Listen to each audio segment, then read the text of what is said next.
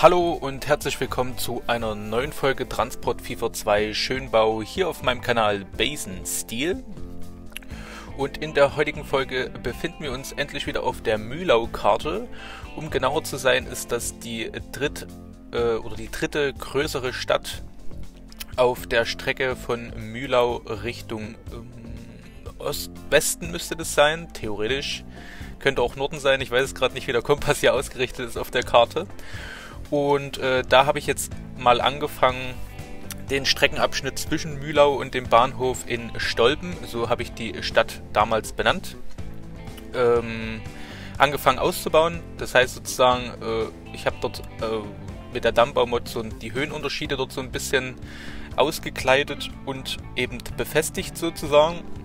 Das macht sich da auf jeden Fall richtig gut, weil ich hatte damals das zweite Regionalgleis etwas tiefer gelegt und äh, oberhalb mit dem etwas neueren Gleis und den Betonschwellen. Dort fährt dann sozusagen der ICE.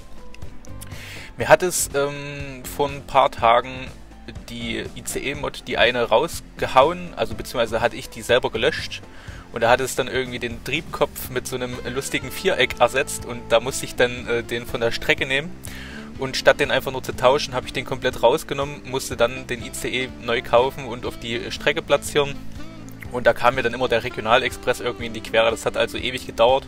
Falls ihr euch jetzt wundert, was das immer so zwischendurch für Sequenzen mit dem ICE und dem äh, Dosto dort sind, das äh, war ein Amateurfehler von mir, äh, den ich dort eben, wie gesagt, äh, fabriziert hatte.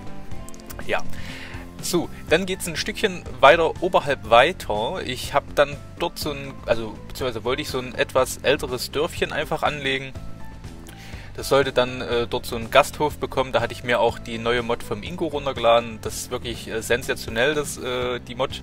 Kann ich nur empfehlen, kommt auch gleich nochmal im Bild. Zuvor hatte ich mir dann überlegt, hier auch nochmal so einen kleinen äh, Bach mit Wasserfall anzulegen. Dazu musste ich hier nochmal so ein bisschen die Schienen abreißen. Ich mache das dann gerne, dass ich da so zwei Übergänge mit Straßen einziehe, um dann punktuell die Schienen dort rausnehmen zu können ohne dass das dann mehr wegreißt, als ich eigentlich brauche. Da zieht man dann sozusagen so zwei Bahnübergänge ein und kann dann den Zwischenraum mit der Schiene einfach rauslöschen und das macht sich dann dort an der Stelle auch sehr gut. So, dann kommt das Ganze hier natürlich noch ein Übergang über den Fluss, dass man auch zu dem Gasthof kommen kann. Das könnte äh, in den vergangenen Tagen, sag ich mal, ein altes Bergdörfchen gewesen sein, beziehungsweise halt einfach ein Dorf, was am Berg liegt. Und äh, die Gebäude wurden dann irgendwann später restauriert und etwas umgebaut, so dass dann dort eben so eine Gasthof-Feriensiedlung vielleicht entstanden ist. Das ist jetzt auch alles noch relativ äh, simpel gehalten und klein. Also ich habe da jetzt nicht riesengroße Sportplätze und Tennisareale und solche Geschichten hinzugefügt, sondern es ist eher so eine ganz gemütliche Ecke, um hier eben auch mal so ein bisschen von der großen Stadt in Mühlau auszuspannen und hier Urlaub zu machen. Und das Gebäude, was ich jetzt schon gesetzt habe, ist wie gesagt das Gebäude, was jetzt neu erschienen ist. Und es ist wirklich eine grandiose Mod, denn da sind auch hier diese Biergarten-Elemente dabei und sogar äh, das Gedeck. Also man kann dort ähm, die Gerichte, ich weiß nicht, das eine sieht aus wie Spaghetti Bolognese oder irgendwas in die Richtung, dann dort auch auf dem äh, Tisch platzieren. Da sind dann noch so zwei Bierkrüge mit dazu und das ist wirklich eine richtig coole Geschichte. Damit kann, kann man dann auf jeden Fall äh, richtig coole Sachen machen. Ja, man kann das auch alles einzeln platzieren, da hat der Ingo wirklich äh, ganze Arbeit geleistet, denn man kann ja dann auch ganz andere Szenerien zum Beispiel darstellen. Es muss ja dann nicht jetzt hier der Gasthof sein, aber so in der Stadt Restaurants und so weiter. Also das ist wirklich eine richtig, richtig coole Geschichte. Gefällt mir sehr gut, ist sehr gut gelungen. Und insgesamt auch das Gebäude ist tiptop. Das kann man hier wirklich insgesamt richtig gut in das Spiel mit einbinden. Und da macht das Ganze richtig Spaß. Und ja, wie gesagt, die Mod kann ich nur empfehlen. Ich werde euch auch mal den Steam-Link mit in die Beschreibung packen, falls ihr die Mod noch nicht installiert habt. Und ich denke, für die Schönbauer ist es auf jeden Fall ein Muss, diese Mod aufzunehmen ins Programm und dann eben auch immer hin und wieder zu verwenden. Ja, dann im Allgemeinen bastle ich hier auch gerade nur mit den Ingo-Mods. Man sieht das da unten in dem äh, Fältchen. Da habe ich dann auch noch äh, so einen Holzstapel gefunden und so ein paar Deko-Elemente, die man dann auch hier richtig gut mit einbinden kann. Wie gesagt, also das ist auf jeden Fall ein richtiger Augenschmaus hier geworden, der Bereich. Und der gefällt mir auf jeden Fall sehr gut. So, dann kommt hier so ein bisschen Verkehr noch mit hinzu. Habe ich dann hier auch an die Transporter hinten dran mal noch so ein äh, paar Bikes äh, platziert. Die werden dann hier sozusagen gerade abgeladen. Äh, ja, der Gentleman äh, kennt es. Die Frau bezieht schon mal das Zimmer und guckt sich das Ganze an. Und der äh, Gentleman steht unten mit den Bikes und dem Gepäck und wird das dann in den nächsten Momenten auch nach oben tragen. So, dann bekommt das Ganze hier ein Schild noch hinzu. Das sind sozusagen die Beschilderungen für die Kleingartenanlagen vom guten SM1. Die lässt sich dann auch gut beschriften und euch das Ganze dann einfach so benannt, wie der Gasthof hier auch im Original von Ingo heißt. Ne? Das fügt sich dann immer ganz gut noch mit ins Bild ein, so ein paar kleine Details. Und dann habe ich hier das Ganze mit äh, den Sims befüllt. Da ist natürlich allerhand los. Hier sind ein paar Biker angekommen und der Gasthof ist gefüllt. Die lassen sich sozusagen ihre Nudelbolognese und ein Glas Bier schmecken. Und ja, dann habe ich hier noch so eine kleine Außengrillstation platziert. Das ist dann wie so eine kleine Gartenlaube, wo ein Koch drin steht und der dann dort eben den Ausschank regelt. Also falls jetzt, sag ich mal, nur so ein paar ähm, äh, Gäste vorbeikommen, die eben nicht einkehren möchten in das Gasthaus, können sich dort dann schnell eine Bratwurst äh, schnappen und dann eben gleich weitermachen auf ihrem Spaziergang, Wanderung oder ähnlichem. Ne? Also das ist dann so ein kleiner äh, Schnellverkauf, der dann dort auch nochmal so separate Speisen anbietet. So, dann geht es hier an den Brückenbau. Denn ich hatte ja wie gesagt hier vorher schon so eine kleine Wasserschlucht entworfen, ich denke auch, dass ich die Stolpenschlucht nennen werde. Es wird dort äh, angrenzend wahrscheinlich auch noch eine Burg Stolpen geben. Die gibt es, glaube ich, auch im Original. Es wird aber kein Nachbau. Also es ist nur äh, fiktiv, das Ganze hier. Aber ich finde es dann äh, eine coole Szenerie, dass man dann hier so eine kleine Wasserfallschlucht hat mit angrenzender Burg. Also da kann man dann so ein bisschen Tourismus auch darstellen, was jetzt den Nahverkehr angeht. Also vielleicht eine Buslinie und ja, solche Geschichten. Und ich denke, das wird auf jeden Fall eine coole Geschichte. So, man sieht es ja auch, ich habe da so immer versucht, also das habe ich ja schon mal in anderen Videos gesagt, ich versuche immer so ein bisschen die Brücken auch individuell zu gestalten, dass immer die, dass sie halt immer so ein bisschen anders aussehen, alle verschieden sozusagen. Und ich finde so an sich, die Brücke ist ja, jetzt kein richtiger Eyecatcher, aber schlecht sieht es auch nicht aus und deswegen finde ich das eigentlich ganz äh, gut. So, dann habe ich hier die Oberleitungsmasten platziert und dachte mir so, die müssen ja hier nochmal so ein bisschen stabilisiert werden, deswegen bekommen die hier an der Stelle, wo der Oberleitungsmast steht, einfach nochmal ein Stück breiteren, äh, breiteres Fundament. Und das habe ich dann nachher auch, äh, jetzt sieht man es hier beim Eingrenzen des äh, Bahndammes auch freigelassen und habe dann an der Stelle, wo der Oberleitungsmast ist, einfach ein anderes Zaunelement platziert. Und das ist natürlich dann eine coole Geschichte, weil das erstens ist es halt ähm, mal was anderes. Und ich finde, das ist auf jeden Fall auch realistisch, denn wenn jetzt dort oben jemand langlaufen sollte, muss er sich ja an dem Oberleitungsmasten vorbeischlängeln und so hat er dort ein bisschen mehr Platz, um dann eben dort auch vernünftig vorbeilaufen zu können. Also ich meine jetzt hier, wenn das irgendwie gewartet werden muss von Arbeitern und nicht, sag ich mal, der alltägliche äh, Verkehr an Fußgängern natürlich, ne? Ja, dann ist es hier immer so mal noch so ein bisschen friemelig gewesen an einigen Stellen, aber das ist ja nicht weiter schlimm. Man kann das ja hier äh, wunderbar einstellen. Und dann habe ich das hier das Ganze auch nochmal schön abgerundet, dass das nicht so ganz brachial die Ecken dort eben rein äh, stechen, sage ich mal. Und ja, dann ging es ja auch schon so langsam an das Gestalten der Schlucht sozusagen. Die wird dann hier eben erstmal mit Steinen ausgestaltet. Und ja, erstmal hier das Ganze mit den äh, guten Felsen vom Ingo eben verkleidet, so ein bisschen punktuell das Ganze eben auch nicht zu übertrieben, es darf auch nicht zu viel wirken, aber in Kombination mit Grünzeug ist es dann auch relativ gut ins Bild einzubinden. Und äh, das macht auf jeden Fall richtig Spaß, solche Sachen hier zu gestalten. Ich habe dann hier mit den Wassertexturen auch wieder vom Ingo gearbeitet. Erstmal hier so ein bisschen den Bachlauf, gerade an der Fallhöhe vom Wasserfall sozusagen, äh, ist dort so ein bisschen raueres Gewässer.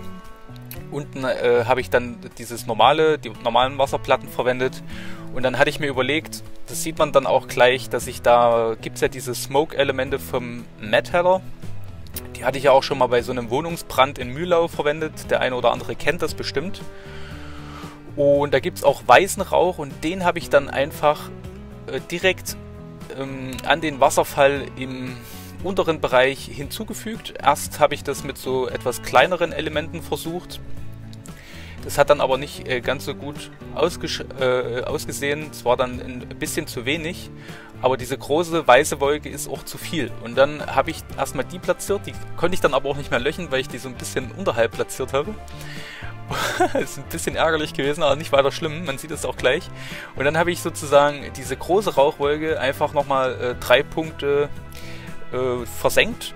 Und dann ist sie ein Stückchen weiter unten und dann sieht es so aus, als ob dort eben der Wasserdampf entsteht durch das Fallen des Wasserfalls. Und das finde ich ist auf jeden Fall eine, oder ein cooles Designelement, was man dort wirklich schön mit einbinden kann. Und so wirkt das Ganze dann auch noch realistischer. Man kann natürlich auch mit den Texturen arbeiten. Die Wassertexturen äh, zum Pinseln gibt es ja auch. Und dort ist auch irgendwie so eine Schaumfunktion dabei. Ich denke, dass ich dann bei dem nächsten Wasserfall und Bachlauf, äh, also ich werde das auf jeden Fall nochmal anwenden. Versuche das Ganze dann nochmal so ein bisschen besser noch hinzukriegen, wo ich finde, das ist schon ganz gut geworden hier in dem Bereich.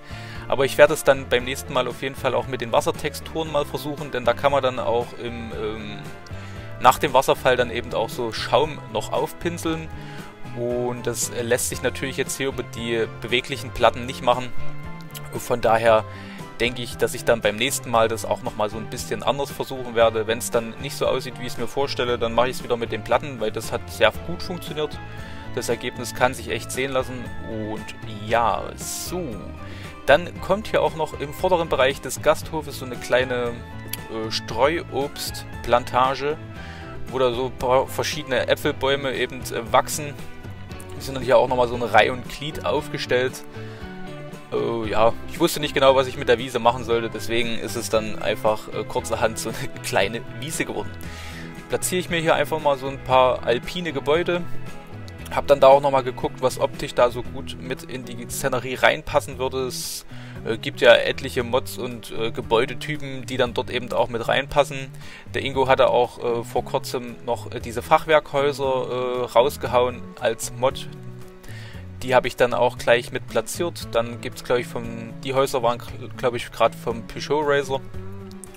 Und so wächst dann hier so dieser etwas ältere Bereich des Dörfchens zusammen. Im ähm, unteren Teil von Stolpen wird es dann auch nochmal eine etwas größere Neustadt in Anführungsstrichen geben, da ich das Stolpen an sich gar nicht so riesig machen werde, aber ich fand das halt eine ganz coole Szenerie, so ein bisschen oberhalb vom Bahnhof, so ein etwas älteres äh, Stadtviertel anzulegen, dass es noch so ein bisschen dörflich und verschlafen ist und dann mit dem Bau des Bahnhofes und Anbinden der Bahn kam dann natürlich auch die Industrie und so ist dann im unteren Bereich auch nochmal so ein bisschen neumodischere Gebäude und äh, ein bisschen mehr Stadtfeeling eben auch noch hinzugekommen. Und das werde ich dann aber in den nächsten Folgen basteln. Soweit äh, bin ich dann hier in dem Fall nicht gekommen, denn ich wollte die Folge auch nicht überlang machen. Deswegen äh, diesmal ein etwas kürzeres Video. So, dann sieht man auch schon das Begrünen des Umlandes, ne, also so ganz verschiedene Buschtexturen und Baumtexturen, so lässt sich das Ganze dann eben auch sehr gut darstellen. Ich hatte dann hier auch immer noch mal geguckt, wie das von der Optik ist zum Filmen, damit hier auch ein paar vernünftige Filmaufnahmen entstehen. Und da hatte ich dann beim Begrünen ganz vergessen, dass die vordere Brücke von dem äh, Schluchtübergang auch noch gefehlt hat. Das musste ich dann jetzt dann demnächst hier mal noch mit hinzufügen. Das hatte ich ganz irgendwie vergessen. Ich weiß nicht, ich habe dann hier angefangen, das Ganze zu begrünen und wollte dann nochmal gucken und habe dann gemerkt, ah, ja, hier war ja noch was. da hat dann, wie gesagt, die Brücke ja noch gefehlt, aber das äh, ging auch relativ schnell von der Hand. Ganz einfache Konstruktion. Ein Bogenelement, zwei Brückenköpfe und dann kommt noch so eine kleine äh, Platte oben drüber und dann ist das Ganze auch schon fertig. Also solche äh, Geschichten lassen sich auch relativ schnell wegbasteln, sage ich mal, und es hat eine oder es erzielt eine gute Wirkung, dadurch, dass eben nicht jede Brücke gleich aussieht. Auch wenn die Unterschiede nur minimal sind, sage ich mal, wirkt es trotzdem, ja, wirkt anders. Also es ist äh, anders, als wenn man jetzt, sage ich mal, die Vanilla-Brücken äh, verwendet. Obwohl dort auch richtig coole Geschichten dabei sind. Da werde ich dann äh, demnächst auch nochmal ähm, bei den nächsten Brücken so ein bisschen drauf zurückgreifen. Denn da gibt es auch äh, richtig, richtig coole Geschichten. Aber ich finde es halt immer cool, mit den Dammbauelementen seine eigene Brücke hier zu entwerfen oder die äh, Überwerfungskonstruktion zu basteln und solche Sachen. Das ist auf jeden Fall äh, richtig cool zu machen. So sieht der ganze Bereich dann final aus. Ich hatte dann eben nochmal hier so ein paar Details hinzugefügt, die ich dann eben äh, beim Film gerne noch mit im Bild gehabt habe, hätte, haben hätte. und die habe ich dann hier wie gesagt noch hinzugebastelt, damit man dann äh, beim Film eben mal so noch ein paar kleine Eyecatcher im Hintergrund sieht. Weil sonst sehen die Höfe dort auch so ein bisschen zu verlassen aus. Ist wie gesagt jetzt ja auch nur bei dem einen so ein bisschen die Ausgestaltung äh, vorhanden. Die hinteren äh, Gebäude muss ich mal noch sehen, was ich da machen kann. Da müsste auch theoretisch noch so ein bisschen begrünt werden. Vielleicht so ein paar einzelgesetzte Bäume oder so im Hinterhof. Muss ich mal sehen. Weiß ich noch nicht genau, wie ich das dann dort weiter basteln werde. Aber der grobe Plan steht. Ich möchte dort, wie gesagt, auch in dem Bereich auf der anderen Seite sozusagen noch eine Burg hinzufügen, die Burg Stolpen sozusagen. Und wenn die dann fertig ist, kommt dann auch an sich die Stadt Stolpen noch hinzu und dann ist auch diese Strecke oder die erste Strecke Richtung, ja, ich weiß gar nicht, ob das jetzt Norden oder Osten ist, muss ich dann nochmal gucken, wenn ich jetzt das nächste Mal spiele. Äh, dann ist die natürlich fertig. Das beinhaltet dann sozusagen drei große Haltestellen und der ICE fährt ja sowieso durch. Da kann man dann auch nochmal eine richtig coole Mitfahrt machen. Da muss ich dann nur mal sehen, inwieweit und wann ich das eben fertig bekomme. So, dann sind wir auch schon so gut wie am Ende des Videos. Jetzt kommen hier mal noch so ein paar coole Abfilmungen von dem Bereich. Äh, ich denke, ich werde wahrscheinlich doch schon noch so drei, vier Folgen brauchen, um den gesamten Bereich bis zu dem Spitzkern-Wendepunkt der ganzen Linien eben fertigzustellen. Aber dann wird hier wahrscheinlich auch nochmal eine richtig vernünftige Mitfahrt kommen und da gibt es dann, wie gesagt, auch einiges zu sehen, denn die Bereiche sind ja wirklich auch richtig cool geworden. Ja, ich habe dann hier versucht, so ein bisschen zu filmen, es ist jetzt äh, nichts überspektakuläres, aber ich finde, äh, der Bereich ist auf jeden Fall richtig cool geworden. Also äh, gefällt mir sehr gut. Aber man sieht jetzt zum Beispiel dort hinten links, das Häuschen hat eben auch noch viel Wiesenfläche, wo noch keine Gestaltung vorgenommen wird. Ich muss halt sagen, das ist halt auch schon äh, relativ weit von der äh, Schiene entfernt. Man sieht es bei Mit Mitfahrten dann auch nicht so. Aber bei dem etwas größeren Gebäude werde ich dort wahrscheinlich noch so ein paar äh, Grünflächen mit anlegen und dann sollte das eigentlich auch schon genügen. Man sieht auch schon hier performancemäßig ist es schon äh, sehr grenzwertig. Die Züge ruckeln hier mehr durch den Bereich, als was es flüssig fährt. Ah. So. Dann sind wir wie gesagt am Ende des Videos angelangt. Jeder, der bis hierhin geguckt hat, vielen Dank. Ich wünsche euch noch einen schönen Tag. Bleibt gesund. Schaltet beim nächsten Mal auch wieder ein. Wahrscheinlich am äh, Sonntag eine Leipzig-Folge. Auch dort wird es interessant werden. Da bastel ich wahrscheinlich den Bushof Lindenau. Ist eine richtig coole Geschichte geworden. Ja, schaltet gerne ein, bleibt gesund. Bis dahin.